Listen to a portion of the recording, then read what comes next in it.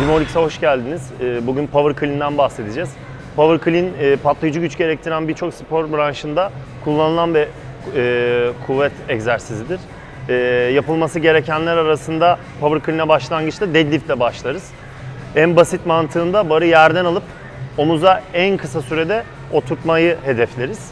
Deadlift ile başlar, şırakla devam eder. Upright yaparak barı omuzumuza oturtur ve kalkarız.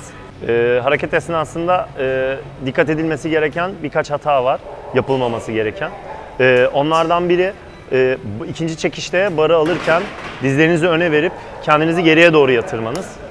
Ee, bir diğeri barı yine ikinci çekişte aldıktan sonra deadlift'ten sonra tam dirseklerin dizlerinizi kitlemeden düzelmeniz yani aldığınız tam dizlerinizi kitlemeden barı bıraktınız. Bu da yanlışlardan biri. En önemli yanlışlardan biri de barı vücudunuzdan yani merkezinizden ne kadar uzaklaştırırsanız o kadar hareketin sizi zorlaştıracağıdır. Çok dikkat etmeniz lazım. Barı mümkün olduğunca vücudunuza yakın bir yerden çekip altına girmeniz gerekiyor. Teşekkürler.